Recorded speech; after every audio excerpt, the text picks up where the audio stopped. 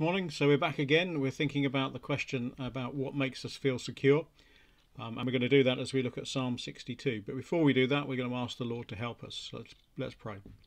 Father, we come to you. We thank you that you are the God who um, likes to uh, enable us to understand your word. You're the God who likes to speak into our lives. And we pray that you would give us ears to hear what you would say to us this day. We ask, Holy Spirit, that you would illuminate your word in such a way as that it has an impact upon us and changes us. For Jesus' sake, we ask.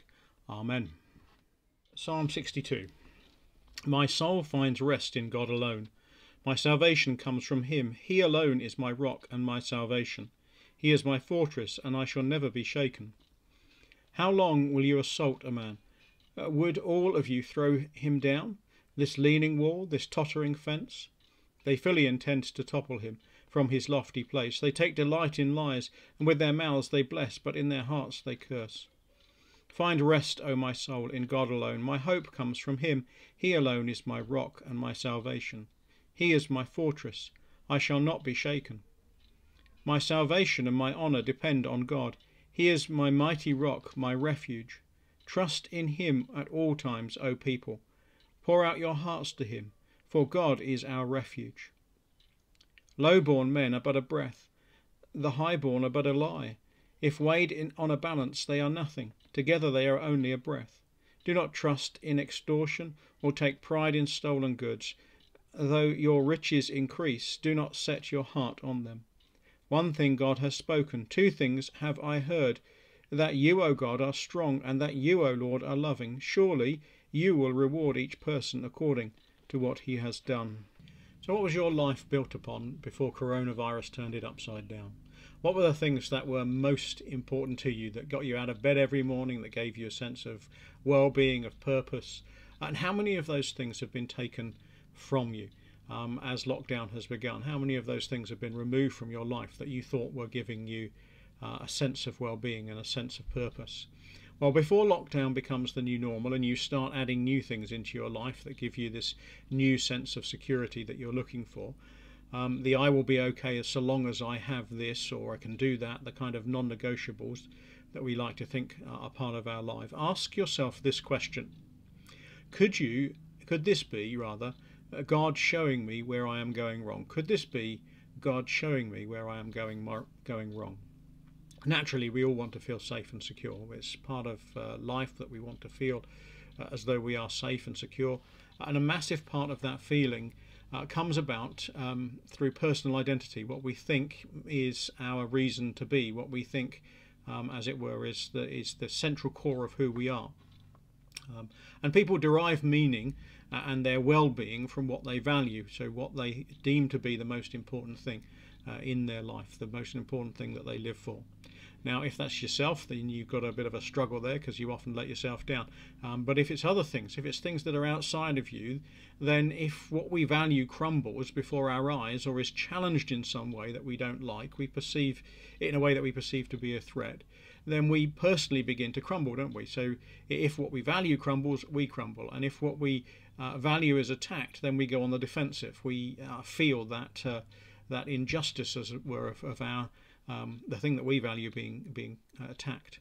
Now, if we form our identity or value from temporary things, uh, then we open ourselves up to be vulnerable, don't we? Uh, things like status or position or money or work or empire or success or, or often even in these days um, a kind of uh, external things like um, choices of, uh, of who we are sexually and all that kind of thing.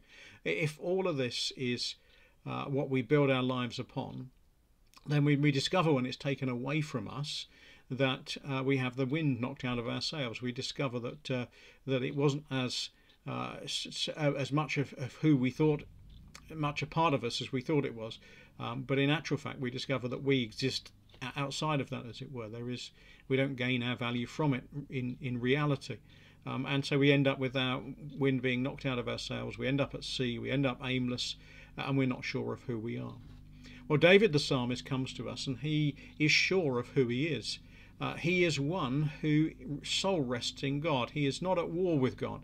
You know, so often what we discover is that as we live our lives, um, as we live our lives here on earth, um, we often have an unrest that is within us. It's, it works away at us. We always want something more. And the reality is, is that that something more that we want is God. And here is David. He's discovered that his something more is God, and his soul is secure. His soul is resting in God. He's no longer at loggerheads. He's no longer um, got no hope or no future. He has a hope. He has a future.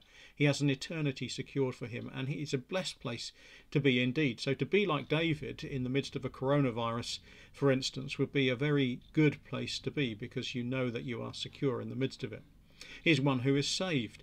Um, the psalm tells us that that the sins of his life has been have been atoned for.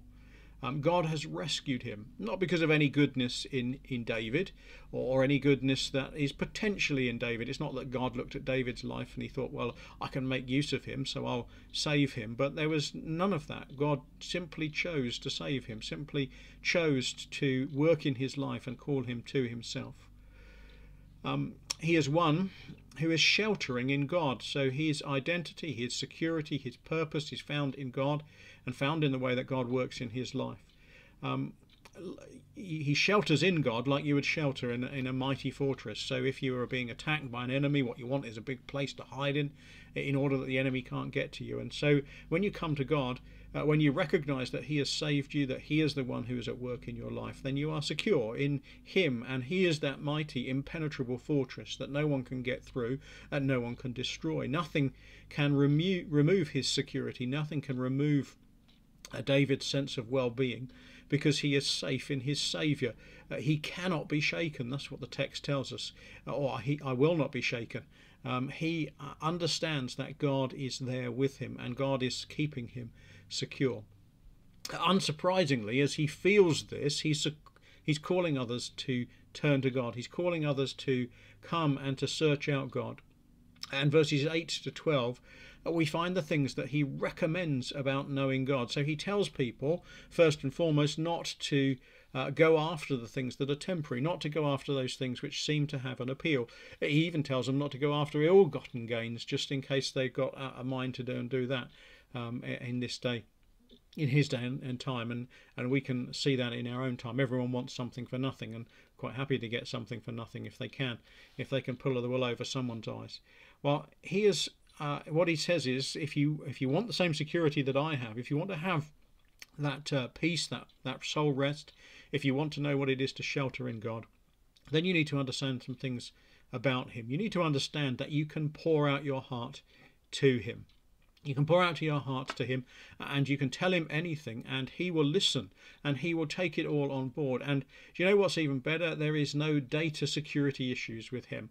It's not like the Zoom uh, security issues that we've been hearing about in the press, you know, that uh, maybe somebody can come and uh, interact in, in your chat room and uh, and you're having a conversation with God, as it were, and somebody else bombs in and uh, and can get a hold of what you're saying. Well, there's none of that. When you are talking to God, there is this reality that you can pour out your heart to Him, and you can know that He has He is everything that you say, and you can tell Him absolutely everything, and He's still listening and He still cares. And it's not that He's going to go and inform the press on you, as it were.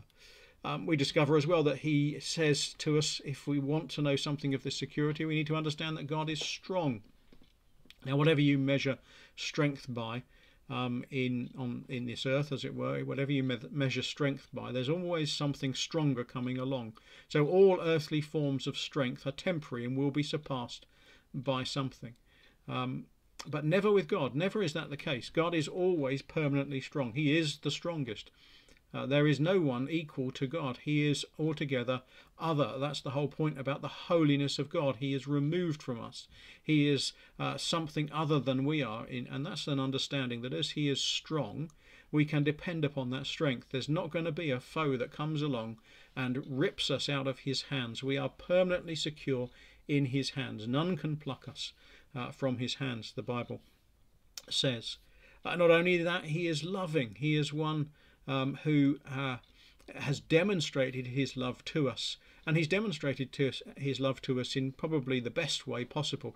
He's demonstrated his love to us in, in that uh, the, uh, Jesus Christ came, uh, God in human flesh, came to rescue us from our sin, from the penalty of our sin, uh, dying in our place uh, and securing uh, our, our, forgiveness um, and, and getting an eternity with Him. These are the blessings of knowing God.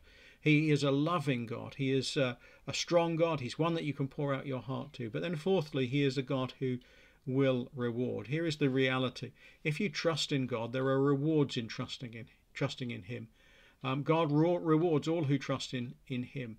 The question is, have you done that? Have you turned to God?